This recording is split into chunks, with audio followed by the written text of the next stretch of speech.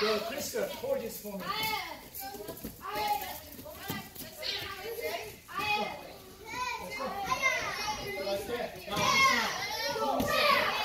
One, two, one, two.